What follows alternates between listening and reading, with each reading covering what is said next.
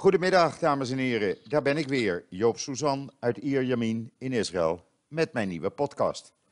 Ja, en zo dadelijk ga ik mijn gabber Erik de Vlieger in Portugal, Portugal bellen. En ik denk dat we weer een heel gezellig gesprek krijgen. We hebben al wat uh, onderwerpen voorbesproken. En het ziet er naar uit dat dat, uh, ja, u gaat het weer leuk vinden.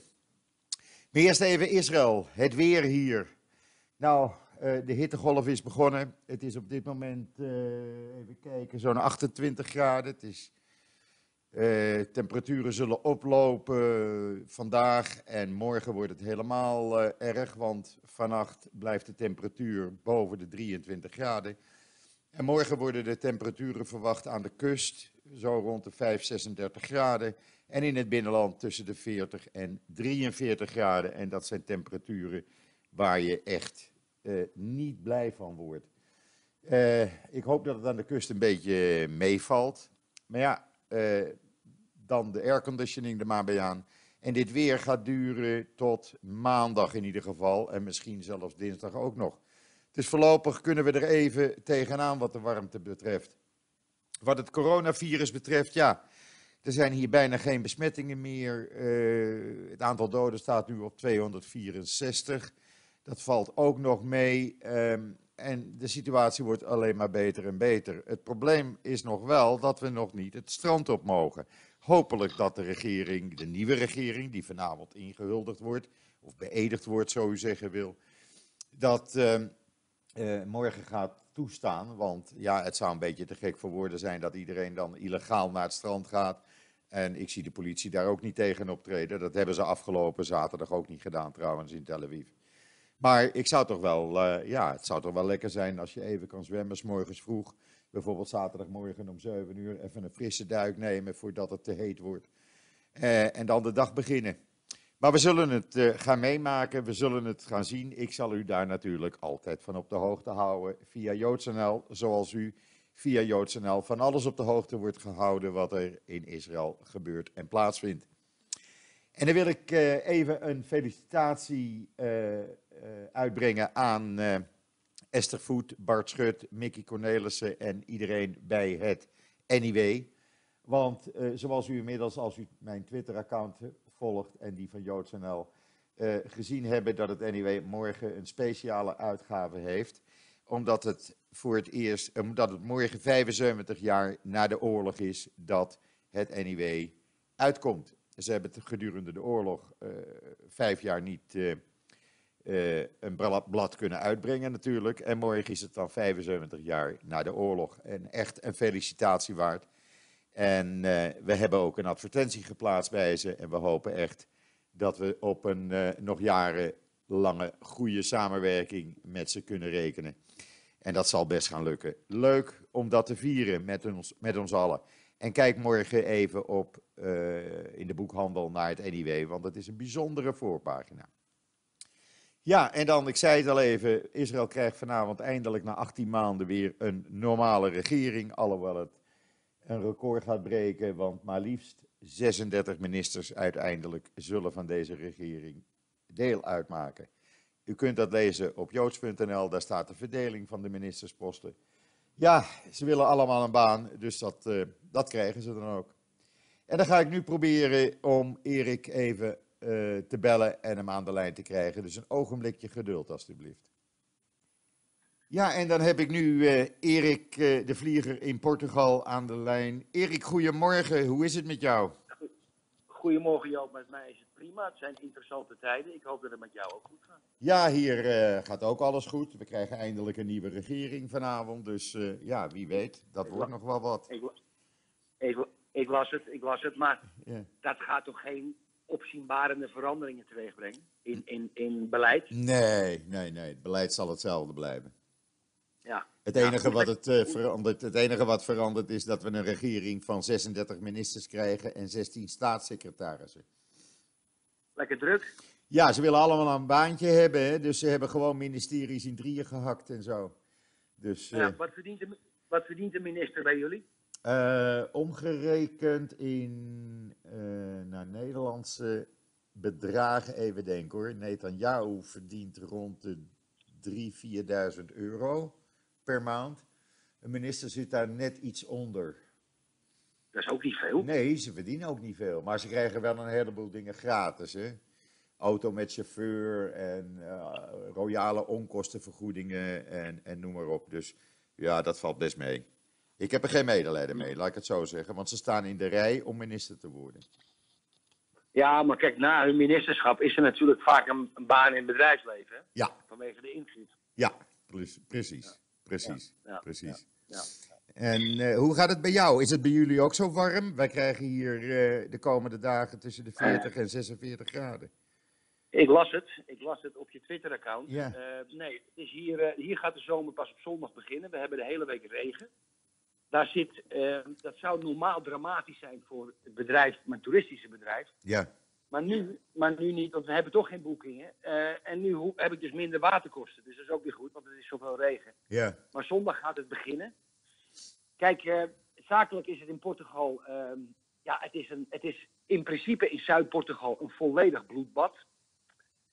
Ik heb twee types bedrijven. Eén zit in het toeristische bedrijf, waar ik verhuur doe en beheer van onroerend goed. Ja. Nou, die verhuur, daar, dat, dat is natuurlijk helemaal stil. We hebben nul boekingen en, en, en we hebben, um, we hebben uh, alles is geannuleerd. Immers, Ja. er zijn geen vluchten op uh, Faro, een beetje op Lissabon. Dus van de 250 mensen hebben we er 150 in een soort lay-off gedaan. Ja. Dan krijg je twee derde vergoed van de overheid. Dat is best goed geregeld. Die Ja. overheid die vergoedt het eigenlijk niet aan je, maar die geeft een soort bankgarantie aan de bank die dat geld eh, aan je leent. Heb je 18 maanden heb je um, een soort grace period. Daar bedoelen ze mee dat je niet hoeft af te lossen. Aha. En na 18 maanden ga je in maandelijkse installments ga je dat terugbetalen aan de bank die dat dan weer terugbetaalt aan de Bank of Portugal. Ja, ja. Dat is in principe een goed systeem, Ja. want in Zuid-Portugal zijn natuurlijk alle hotels en de resorts die staan stil. Ja. En uh, ja, die, die, dat zijn nooit echt vette bedrijven. Maar nu komt er dus cash binnen om die mensen te betalen. En gewoon een beetje te hopen op betere tijden. Ja. In de tussentijd reorganiseren we wel, hebben we wel plannen. Je mag in ieder geval niemand ontslaan tijdens die lay-off periode. Dat, moet je, dat mag niet, dat Nee. per wet. Dat is ook terecht, anders zou iedereen maar ontslagen worden. Maar we kunnen nu wel kijken naar hoe gaat de wereld er in dat vakgebied uitzien. Uitzien, ja. Uh, zodat we het bedrijf meer lean en mean neer kunnen zetten. Ja. Aan de andere kant heb ik een, een vastgoedbedrijf, ontwikkelaar. De handel, Joop. Ja. De handel. De gewone Ja, de huizenhandel. Ja, weet je, en je weet hoe het is in de handel. Ja. Wat er ook gebeurt, hoe de wereldeconomie er is. Er is altijd handel. Handel gaat altijd door. Handel gaat altijd door. Dus. En ik ben natuurlijk een soort eh, Amsterdamse binnenstad-adept daarin. Ja. Die, die, die, die, die grootgebracht is met handel in de, in de textielmachines en confectiemachines van ons vader. Mijn broer en ik dat bedrijf overnamen. Maar Ja. ik weet natuurlijk niet beter dan de hele dag handel voeren. Dus Nee, precies. overal waar ik ben, waar ik, daar kijk je daarnaar. En dat, zit in je, dat is in je DNA gaan verankeren. Ja. Dus dat gaat gewoon door, eh, Joop. Dus we verdienen af en toe een paar centjes. Er blijft af en toe, af en toe blijft er wat aan de, aan de strijkstok, wil ik niet zeggen. Maar af en toe blijft er wat hangen. Nou ja, laat ik Dat, zeggen, eh, je kan een ijsje kopen af en toe. Net een ijsje, klein beetje slagroom. erop. Ja, ja, precies. en, eh, Ja. aan de andere kant, wat, wat me privé aangaat. Mijn, ik heb twee kinderen, die hebben ook kinderen die wonen in Amsterdam. Ja, Die mis ik enorm. En ik ga voorlopig niet er naartoe. nee. En ik heb twee kinderen hier. En we zitten, ik, zit, ik werk wel, ik ga wel, wel, wel naar, ik doe wel gesprekken met mensen van mijn bedrijf en andere mensen. Maar het meeste gaat natuurlijk op FaceTime. Ja. Ik heb wel in coronatijd leren koken. Oh, kijk. Ja, ja, Nou. ja. En gezond koken. Want ik zat met mijn zoon hier, want wij zijn net twee van die studenten. Ja. Pizzaatje, hamburgertje, dingetje. Ik zeg nou tegen mijn zo- jongste zoon Daan, dat is een professionele poker, pokeraar geworden. Ik zeg, jongen, papa gaat nu toch even YouTube erbij pakken. En ik, ja, ik kan nu lekker een oogpotje maken. Lekker. Lekker. Tuinboontjes. En eh, dus dat geeft me ook weer een beetje geluk. Ja. En eh, de andere kinderen die zitten bellen me om zes uur op. Papa, ben je aan het doen in de keuken? Dan moet ik dat aan FaceTime laten zien. Ja. Dat ik aardappeltjes aan het schillen ben. Nou, dat hebben ze natuurlijk nog nooit gezien van hun vader. dus er zitten ook, er zitten ook voordelen in, Joop. Ja, nou, maar een beetje, ik heb dezelfde situatie natuurlijk. Hè. Kijk, we hebben hier natuurlijk ook eh, die lockdown. De grenzen zijn nog gesloten voor buitenlanders. Tot 30 mei. Eh, hele toeristenindustrie, ja, daar is geen sprake meer van. Alleen binnenlands toerisme begint men nu zachtjes te pushen. Hotels eh, die gaan open, maar ja, dat is mondjesmaat alleen voor binnenlands, eh, voor Israëli's. En eh, men gaat alles aanpassen natuurlijk. Volgende week hopen de restaurants open te gaan. Een uitgebreid buffet in hotels zal voorlopig niet gebeuren. Dan eh, krijg je je ontbijt op je kamer gesield. Dus eh, ja, alles is veranderd, maar men past zich aan. En wat betreft eh, layoffs, ja, men heeft hier ook het personeel alleen maar op onbetaald verlof gestuurd. Dat betekent dat de regering dus het salaris doorbetaalt voor 70% 70 procent. ja, en gaat dat goed? Is dat goed georganiseerd? Ja, dat is goed georganiseerd. Ja, en bedrijven hebben allemaal, krijgen allemaal leningen. Er is hier een bedrag van 20 miljard euro vrijgemaakt. Eh 25 miljard euro vrijgemaakt voor eh, de bedrijven. Dus daar zit aardig wat in het potje. Maar goed, men hoopt natuurlijk dat ja, eh, eh, in juni, juli de grenzen langzaamaan open gaan. Eh, het verbaast mij trouwens dat Portugal niet in dat rijtje landen zit waar Israël deel van uitmaakt. Griekenland, Cyprus, Oostenrijk, Tsjechië, Australië. Eh, die onderling eh, misschien toerisme gaan doen, omdat het aantal besmettingen daar minder is. Het is Ja, vergelijkbaar. Port- Port- Portugal is ongelooflijk qua, Ja. lage besmettingen. Kijk, we liggen na Spanje. Ja, Maar we precies. zijn veel eerder, we zijn veel eerder begonnen hier. Ja, Ook veel eerder dan, dan Nederland. Hè. We Ja, hier ook. Die, pers- hier ook. persconferentie van Rutte met zijn rare groepsimmuniteit. En een week later was het weer niet. Ja, Maar Portugal is zo, eh, die zijn zo snel gaan reageren. En ik gaan testen. Ja, Eh, ik heb het je in de vorige uitzending Hier verteld. ook, Eh, de, hier ook. verpleeg- hè, de verpleeghuizen, als er een besmetting is, worden leeggehaald. Mensen worden apart quarantaine. Ja. Heel goed, heel zorgzaam. Heel lief ook. En, eh, en daar ben ik van onder de indruk. En daardoor heeft Portugal, ja, volgens mij hebben ze iets van 1200 doden. En ik heb het- dat, dat, eh, dat ook demografisch gezien. Dat zijn eigenlijk alleen maar oudere mensen. Hè. Er zijn een paar jongeren bij. Dus eh, wat erg genoeg is natuurlijk. Ja. Maar het is niet zo dat eh, ze hadden heel weinig intensive care bedden. Eh, een stuk of 400, 500. Dat hebben ze kunnen verdubbelen. ja, En ja, dat is, die zijn nog ineens bezet. Dus dat, dat gaat hier heel goed. ja, En, ehm, en ik denk, ja, qua open, ze, ze, willen het goed doen. Op, op Nieuwsuur in Nederland was gisteren een reportage over Griekenland en Portugal, hoe goed ze wel dat niet deden. ja, En je krijgt hier ook een nieuwe wereld. En ik zit daarin, en waarschijnlijk heb ik de mazzel. Kijk, ik heb geen hotels. nee, Ik heb resorts. Ja. Achter een hek. Ja. Dus daar zit je veilig en je kan bij andere mensen wegblijven. Je hebt je eigen keuken. Je hoeft niet naar een restaurant te gaan. nee, Ehm, eh, dus dus, dus je, je zit hier veilig. Dus ik denk zo gauw die vluchten beginnen ergens in juni, Transavia in dit geval. Dan denk ik dat er heel veel mensen die snakken naar vakantie ehm, bij ome Erik in het resort komen. Ja. Of bij anderen, dat maakt niet uit. En in de tussentijd is het een beetje wachten op koopjes. Ja, Ja. Joop, kijk. Ja. ehm, ehm, er gaan natuurlijk, we hebben hier nog steeds de naweeën van 2008, die financiële crisis. ja, Waarin een aantal hotels door banken zijn, dat is geëxecuteerd. Er waren leningen, zitten in fondsen. Die mensen runnen dat nog. Maar die zijn ouder geworden, die zijn moe. Die denken, jeetje, nu alweer een crisis. Dus die mensen gaan zich omdraaien en die gaan zeggen, ik, ik nok ermee. Bekijk het maar met je leningen. mhm, Dus dat gaat allemaal bij banken terechtkomen. En eh, overigens verwacht ik dan zeker veel Israëlisch geld. Want eh Israëliërs waren al aan het kopen in Porto en Lissabon hotels. En ehm, ja, dat gaat natuurlijk eind van het jaar. Denk ik dat daar ja, behoorlijke bewegingen gaan plaatsvinden van banken die, dat, die, die, die, die foute leningen in die fondsen hebben. Die zeggen we gaan dat opruimen. ja, We gaan het opruimen. ja, Ja, en dan, ja, dan wil ik klaar zijn, Joop. Ja. En ik ben me nu met een hele, ik heb een nieuwe groep, een soort taskforce, heb ik eh, opgebouwd. Eh, waarbij we alles in kaart brengen in, in, in het grootste gedeelte van de Algarve, waar de problemen zitten. Eh, we vergewissen ons over, over, over die producten die we hebben. En we- ja, we weten natuurlijk ook, we hebben contact met banken en fondsen. En dan gaan we eens kijken of we daar eh, eh, wat ik, eh, binnen, binnen mijn ambitie en, en mijn financiële vermogen grote stappen gaan maken. Want ik heb er zin in. leuk, leuk. Ik heb, er, ik heb er zin in. Ik wil werken. Ja, Ik, ik wil gewoon werken. Ik Ja, hou van werken. Ik, ik, werk, ik werk tot ik doodga. Weet je? Ja. Ik, heb, ik heb geen zin. Ik heb, toen ik, toen ik in, in Nederland, half in Nederland, half in Portugal. En, en toen, toen, toen ik aan het vechten was met de overheid, toen was het klaar. Ik had gewonnen, maar ik had ook verloren. Ik denk, nou, ik ga nu eens een beetje genieten. Maar Joop, ik kan niet genieten als ik in, in, in de duinen loop. Nee. Ja, ja eh, Nee. een uurtje. Ja, Ja, precies. een uurtje. Precies. En op mijn fietsje gaan kijken naar, naar weet ik veel wat, een, een, een dolfijn die misschien langs komt van een klif. Ik heb er allemaal geen zin in. Ik wil Nee. gewoon werken, Joop. Ja. Dat vind ik het leukste wat er is. Ja, nou, maar dat, doen we, dat doe ik toch ook. Ik bedoel, bedoel eh, werken is echt het leukste wat er is. Ik ben ook de hele dag bezig.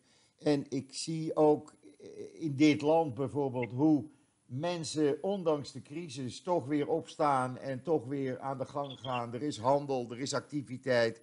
En dat gaat gewoon lekker door. Dat gaat gewoon lekker door Ja. hier. Dus, eh, maar ik, ik, ik, had, ik had ook begrepen van jou, dat zag ik op jouw Twitter een eh, tijdje geleden. Je gaat speciale acties doen voor eh, Nederlanders die naar jouw eh, resorts willen komen. Ja. ja, kijk, dat is natuurlijk een geintje. Maar Ja. ik ga het wel doen. Kijk, wij, wij hebben zeg maar 400 eenheden te verhuren. En, en ik zit zelf in een resort, in het mooiste resort wat wij hebben. Ja, Dat heet Verhaal de Miljo. Daar zitten 32 prachtige huizen. En omdat ik mijn eigen huis aan het verbouwen was, ben ik daar zelf ingetrokken. Dus ehm, ehm, wij hebben misschien iets 6 of 7 procent van onze verhuuromzet komt van Nederlanders. Maar toen dacht ik bij mezelf, laat ik nou eens een keer een extra geintje uithalen. Dus ik heb voor al mijn Twitter-volgers ja, heb ik een, een superkorting ehm, ter beschikking gesteld. Als er weer vluchten zijn.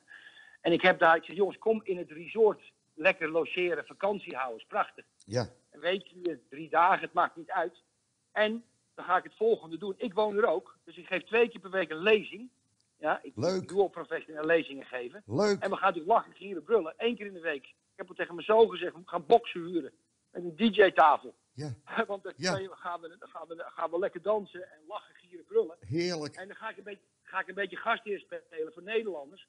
En dan wordt het natuurlijk, het wordt natuurlijk lachen. Ja. Snap je? Dat, dat, dat, dat, dat, dan gaan we gekkigheid uithalen. En moeten ze dan naar een website toe of, eh, om te boeken? Ja, of, dat is, ah, dat is, ja, dat is allemaal op mijn Twitter te vinden. Er staat ah, precies de procedure, welke mail, Oké. reservering, et cetera. En dat, ga ik, dat twitter ik twee keer per week. Ik wil niet te veel reclame maken. nee, Want dan gaan ze allemaal zeiken, die linkse gasten op Twitter.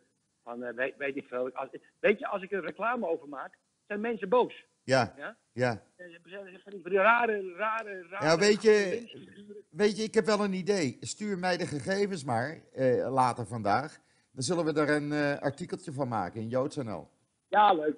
Leuk. Ik bedoel, eh, we hebben op dit moment, ja schrik niet hoor, elke dag gemiddeld zo tussen de 32 en 35.000 lezers op JoodsNL. Keurig. Ja, dat doen we toch netjes. keurig. Dat doe je netjes. Dan ben je, dan ben je even een grotere. Eh, Ja. En het gaat alleen maar over Israël. Kan je nagaan. Ja, ja. Kan je Dus, nagaan. eh. Ja. Maar goed, Joop, ik, ja, ik heb nog een... al- Ik heb, ik, ja, jij bent natuurlijk de ondervrager, maar je Ja. Weet bloedkruid waar het niet gaat. nee, maar wij, eh, wij lullen altijd een eind heen. Dus eh, wat dat betreft, eh, ga maar Het door. is een gevoelig, het is een gevoelig onderwerp. Ja, Maar ik heb 4 mei ehm, heel anders beleefd dan, dan al die jaren dat ik 4 mei beleefd heb. Ik Ja. weet niet ehm, hoe dat jou aangaat. ja ik ook. Ik ook. Ja, Ik heb het op televisie gezien, hè? Ja, maar ik, kijk, weet je wat het is, Joop? Er zijn twee dingen die ik, die ik daarover kwijt wil. Ja. Daar een discussie over hebben. Ja, Kijk, eh, in de aanloop van 4 mei ja, zie ik opeens allerlei groeperingen ja, die, die 4 mei aan het kapen zijn voor onderwerpen uit het verleden, misstanden uit het verleden. Ja, de- de- er worden oorlogen, wij- 80-jarige oorlog, de slavenhandel. Sla- ja dat eh, viel mij de- ook de- op. De eerste Napoleon, weet ik veel wat, de, de Ja. Enschede-ramp. We moeten opeens, het lijkt er wel een rare druk om, om, om de dodenherdenking, zoals waar ik mee opgevoed ben, die direct gerelateerd is aan de Tweede Wereldoorlog. Ja, Zo, tenminste, zo heb ik hem altijd opgevat. ja, ja, ja. Eh, eh, eh, en, onze stilte om acht uur. ja. Maar ik, ik word, het lijkt me of het steeds sterker wordt dat het gekaapt moet worden voor mensen die zeggen: ach, ja, we moeten het veel breder trekken. ja. Ik, word er piezig van. Dat viel mij ook op. Dat viel mij ook op. En daarom vond ik die toespraak van eh, de, eh, koning Willem-Alexander zo eh, indrukwekkend. Ook al doordat het een volledig leeg, lege dam was. De hele, de hele sfeer was behoorlijk indrukwekkend, moet ik je zeggen. En ik vind, ik vind het ook niet goed. Want de dodenherdenking gaat om het herdenken van alle slachtoffers tijdens de Tweede Wereldoorlog. Punt. Dat is het. En, en om Ja. dat dan te kapen, ja, dan kan je aan de gang blijven, zeg. Ja, maar waarom, waarom, waarom heeft een man zoals Arnon Grunberg toch een vooraanstaande man? Ja. In, in, in één, de Joodse wereld, twee, de literaire wereld, drie, de... Waarom heeft ju- juist hij Ja. dodenherdenking willen kapen met eh, het racisme ten opzichte van een Marokkaan? Ja, dat begrijp ik ook niet.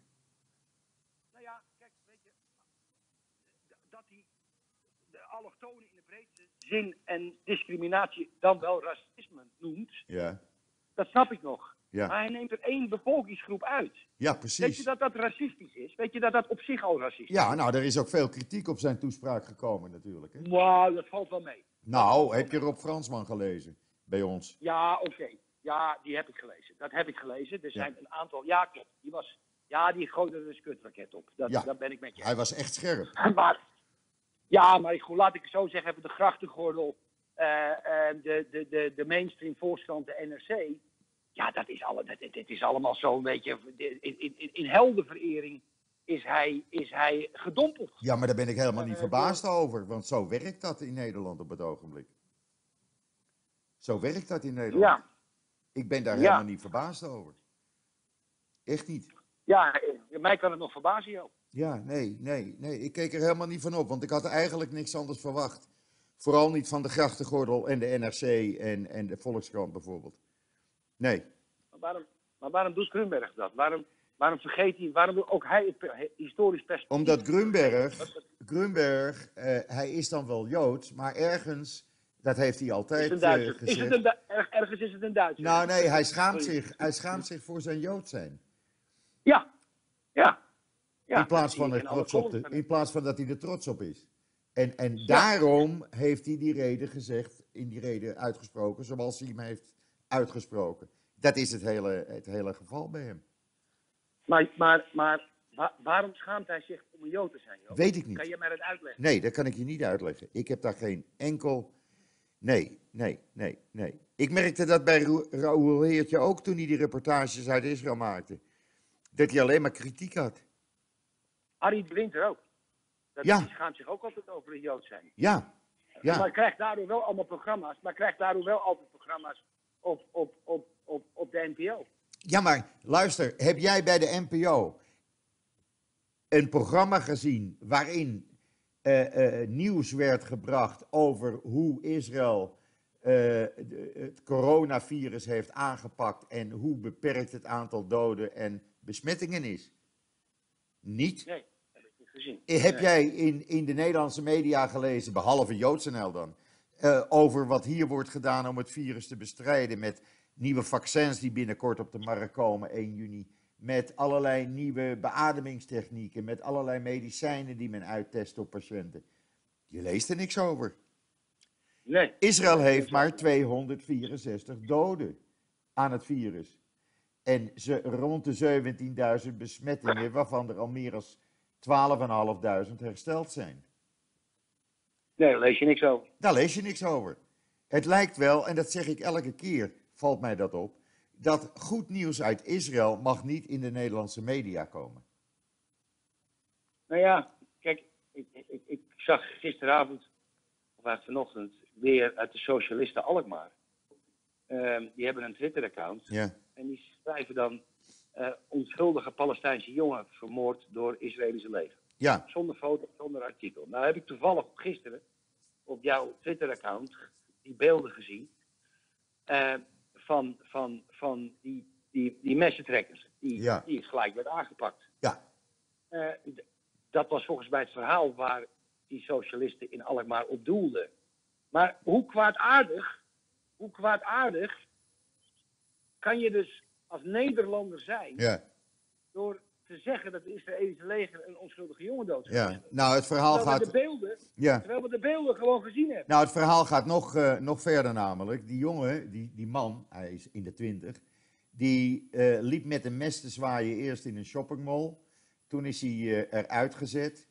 Toen is wel de bewaking van die shoppingmall erop gewezen dat hij met een mes liep te zwaaien. Toen is hij met zijn auto naar eh, het parkeerterrein gereden van het Sheba ziekenhuis.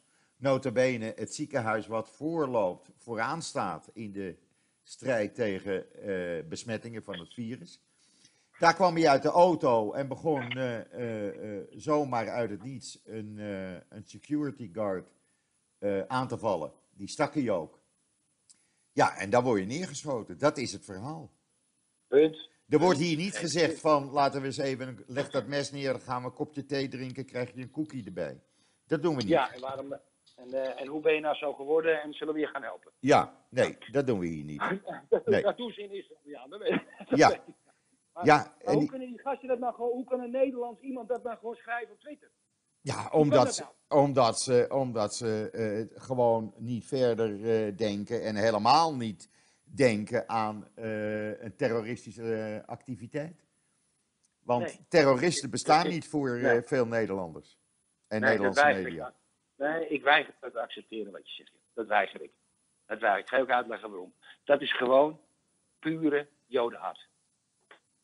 Ik wou het netjes zeggen. Ik wou het netjes Ja, maar dat zeggen. weet ik. Dat weet ik. Maar ik als niet-jood mag het zeggen. Jij mag het zeggen. Ja, Ja, ik mag het zeggen. Ja. Ja. Ik heb daar ook wel eens een column over geschreven bij jullie. ja. Kijk, dat is Het wordt gewoon... trouwens tijd dat je nog een, weer een column maakt hè, bij ons. Ja, dat ga ik doen. Dat ga ik doen. Maar kijk, het, is, kijk, het moet ook maar eens een keer benoemd worden. En ik weet niet waar het vandaan komt.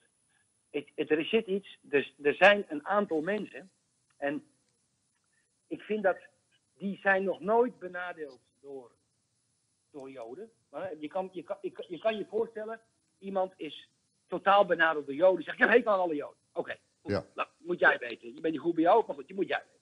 Ja, Maar er zijn dus mensen die in een buitenwijk in Alkmaar wonen, die voor de rest nooit wat met Isra- Israël of het Jodendom te maken hebben gehad, die vanuit hun binnenste antisemiet zijn. Ja? ja, ja. En ik heb dat, die column die ik ooit schreef, die column die ik ooit schreef, ik heb, daar heb ik al gezegd, jongens, wa- waar, komt dat nou, waar komt dat nou vandaan? Want het is niet 2020, dat is al heel lang zo. ja. Ja? Ja. En, en hè, weet je, in, we hebben het met de Inquisitie natuurlijk in Portugal. Ik heb daar goed. De Joodse gemeenschap in zelfs de Algarve in Lissabon was een enorme grote gemeenschap. ja En klopt. opeens, ja, opeens, ja, in tijden van armoede kregen ze de schuld en konden zich of tot het christendom bekeren of kiezen voor de dood. Ja. Ja? Overigens bedank ik Zuid-Europa daarvoor, want het beste van het beste is naar Amsterdam en Antwerpen gekomen. Klopt. Dus ja, dus en, en maar ik vraag me altijd af, weet je, en ik vind het ook intrigerend, want ik heb dat altijd intrigerend gevonden. Überhaupt het Jodendom en überhaupt de mentaliteit en überhaupt het, het, het volk en, en de voorwaarts en de overlevingsdrang. Enfin, ik kan maar doorgaan. Ik Ja. ga niet blijven slijmen, want dat maakt niet uit. maar ik, ik, ik snap niet. Ik- er moet iets zijn. Er moet iets zijn waardoor zonder reden antisemitisme aangewakkerd wordt. Ja, en, en wat dat is, daar zullen wel boeken over geschreven zijn. Maar ik vind dat. Ja, ik vind het intrigerend. Ja, ik zeg altijd, ik zeg altijd, het heeft te maken met, op z'n Amsterdams gezegd, kinderzinnen. Men is jaloers. En er is altijd wel een reden om jaloers te zijn. En Joden zijn natuurlijk altijd een minderheidsgroep geweest in, in de wereld, in Europa met name. En eh, men denkt helemaal niet na aan wat eh, de Joden die eh, in Europa woonden eh, voorgoeds hebben gebracht aan landen. Voorgoeds op cultuurgebied, op wetenschappelijk gebied, op allerlei andere gebieden. En natuurlijk de handel. Maar men is altijd jaloers geweest. En dat zie je nu ook terug naar Israël toe. Ondanks dat Israël probeert de hele wereld te helpen in het gevecht tegen het coronavirus, gaat men toch weer ja, kinderzinnen hebben, toch weer tekeer gaan over Israël. Want ook de verhalen die de ronde deden over Israël eh, negeert helemaal de Palestijnen in de strijd tegen het coronavirus. Heb ik ook al gelezen in de Nederlandse media. En dat is ook niet waar. Israël werkt op dagelijks gebied met zowel de Palestijnen, de Palestijnse leiding, als ook met de Hamas in Gaza op dagelijks gebied samen om het virus met z'n allen gezamenlijk te bestrijden. Er zijn Ja, maar dat- de- Maar Ja. dat weet ik, Joop. Dat weet ik, Joop. ja, maar een heleboel mensen weten het niet. Jawel, dat weten ze wel. Dat Dan hoef je alleen maar, hoef je alleen maar eh, elk social media account te openen. Maar dat blijkt dus, dat willen ze dan niet lezen. Nee, precies. Ik vraag me af. Ik, ik, ik vraag me dus gewoon af. En, en, en dat was dus, ik- dat was dus eigenlijk mijn punt. Ik Ja. vraag me af waarom een gassie uit Alkmaar, Ja, waarschijnlijk ergens, in een- weet, weet ik veel waar hij woont, een tweet geeft en zich socialisten Alkmaar noemt, behoorlijk wat volgers heeft, zegt dat een onschuldige jongen zomaar door het Eerste Nederlands leger is doodgeschoten. Dat is, dat is een, dat is, en zijn volgers lezen dat Ja. en, en noemt zichzelf socialisten. En ik, ik vraag me af waar het echt, echt vandaan komt. Ik, er zit ergens een haat. En dat, dat, dat, dat, is, dat zit in de maatschappij. Dat wordt overgegeven. Dat blijft constant maar leven. Eh, dat antisemitisme. ja. En, en dat, dat, dat, dat, dat vind ik. Ik blijf het intrigerend vinden, joh. Ik Ja. blijf het intrigerend. Nou ja, kijk, toen ik in Nederland woonde, eh, en ik heb het er toen regelmatig met jou ook wel eens over gehad in Nederland. Ik heb natuurlijk in Nederland ook te maken gehad met antisemitisme. En, en, en, en niet van domme mensen. Ik kan me ooit herinneren dat ik naar een tandarts ging, een nieuwe tandarts. En die zei tegen mij, Susan, hij zegt dat is helemaal geen Nederlandse naam. En je lijkt ook niet Nederlands, want je hebt geen blond haar en blauwe ogen.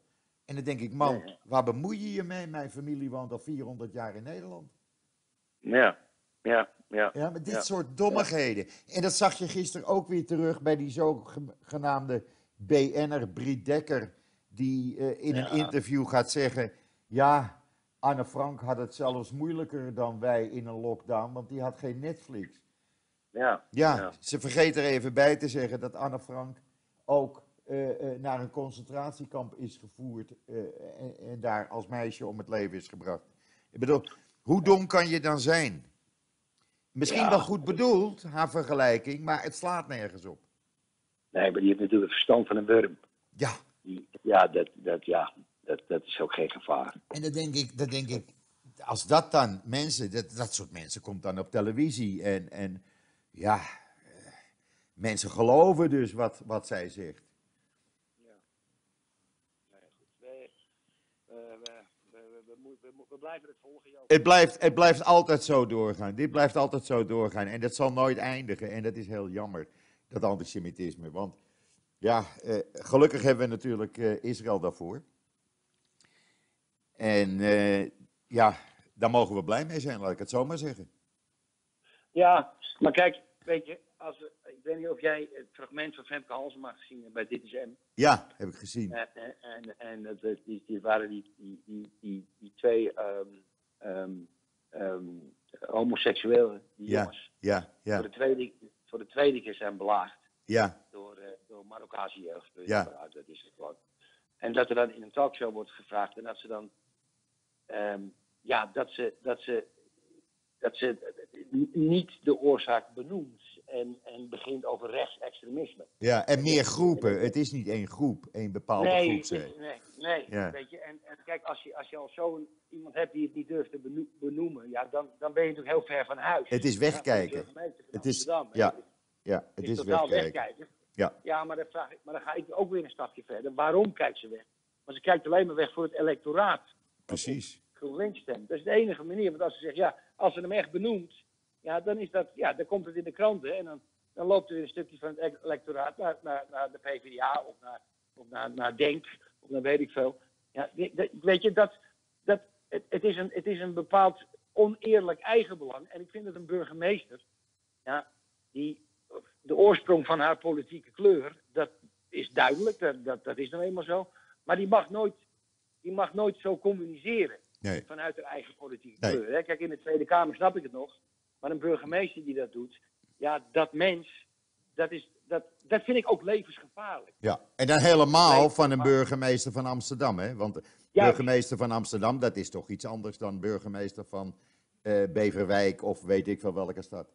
Ja, ja je, we weten allemaal dat bepaalde groepen eh, homo's belagen. Punt. Ja. ja? Er zal heus, heus wel eens een keer een, eh, een blanke rechtsextremist zijn die, die, die een homo slaat. Dat is net zo erg. Maar, maar we weten allemaal waar het zit. Ja. En het dan niet noemen. En de- 17 miljoen mensen weten hoe het zit.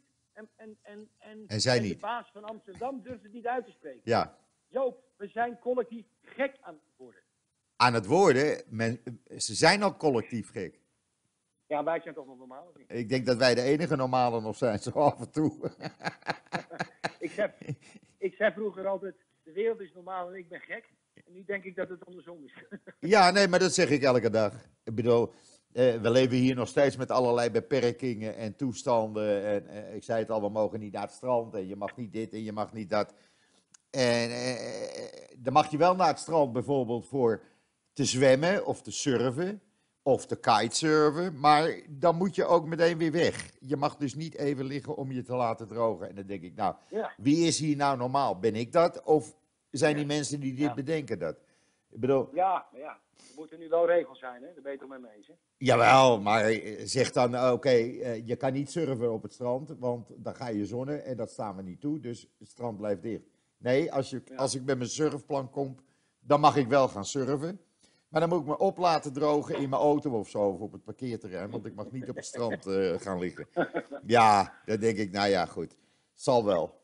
Ik bedoel, ja, Ja. toch? Als je, Israël, als je Israël in wil komen, moet je dan nog steeds in quarantaine of niet? Je kan Israël als buitenlander niet in. Helemaal niet. Nee. Het is helemaal dicht. Tot 30 mei. Jongen. Ja, dat hebben ze hier goed gedaan. Ze hebben meteen op 3 maart, 4 maart de grenzen gesloten. Klaar, punt. En is, je, is Al, is dat, is Al, is dat een of is dat van de staat?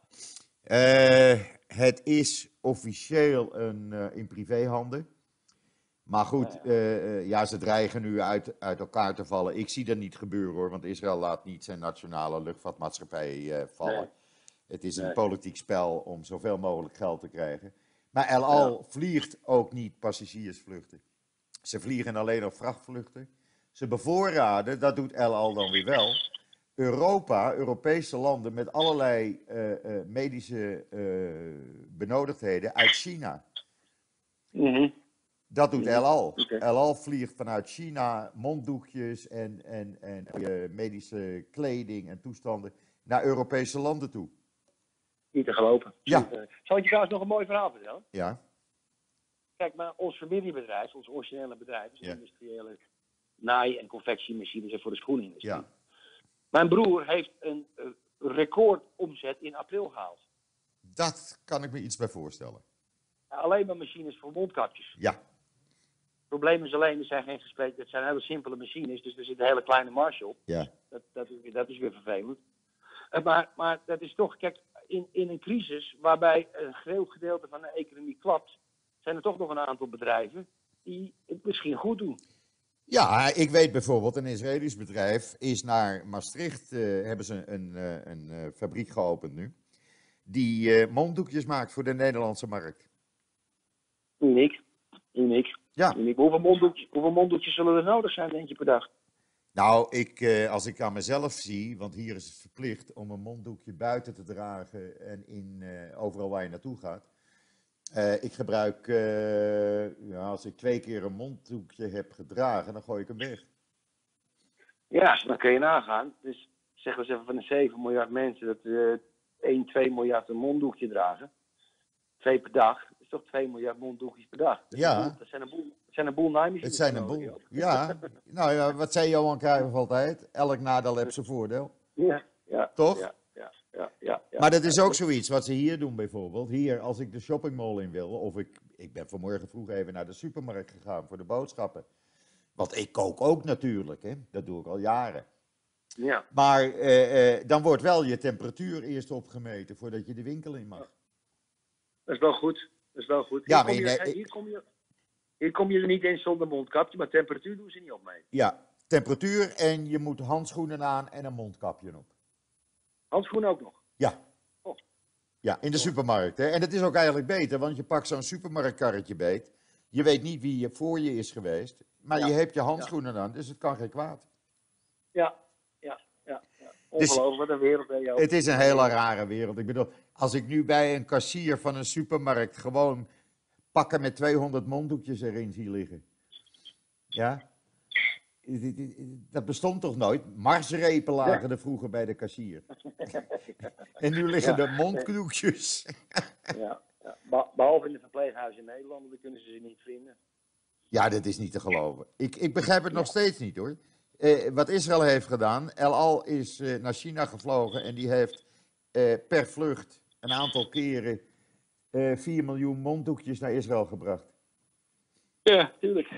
Gewoon om te zorgen dat de wel handel op peil, eh, dat het op peil was. En nu wordt het hier Ja. volop geproduceerd, dus we hoeven niet meer te importeren.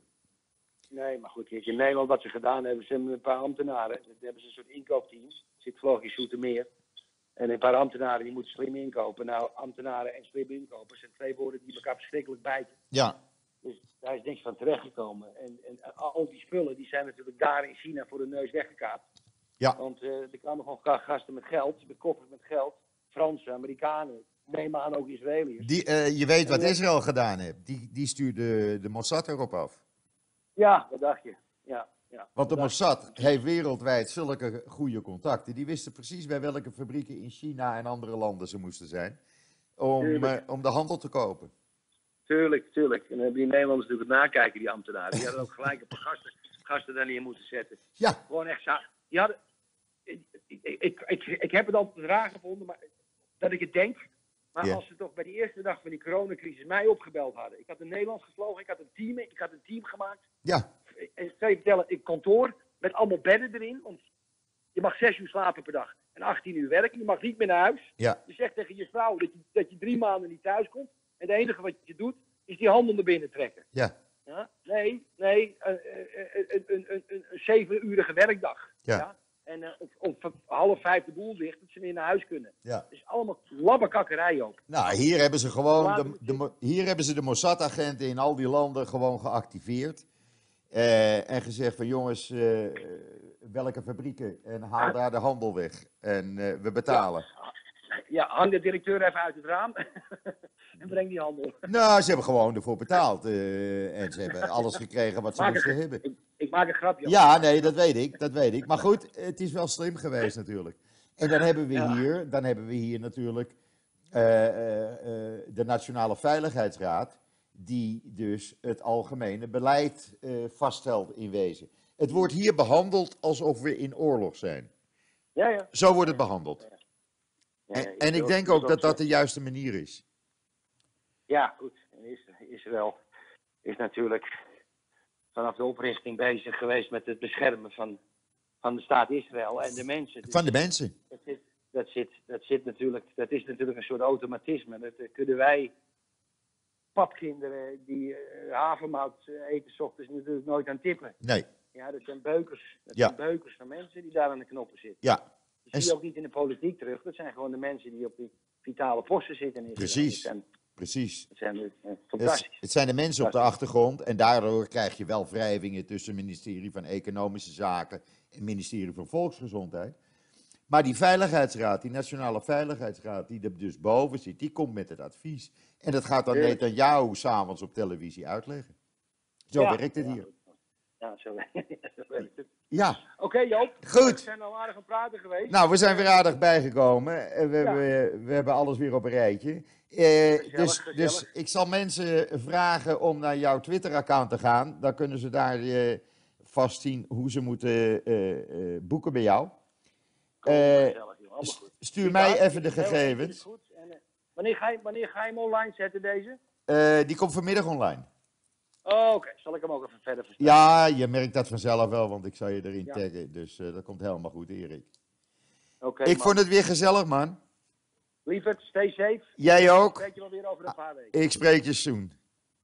Oké, Hoi, ga je goed. Hi, Erik. Hi. hoi, hoi, hoi.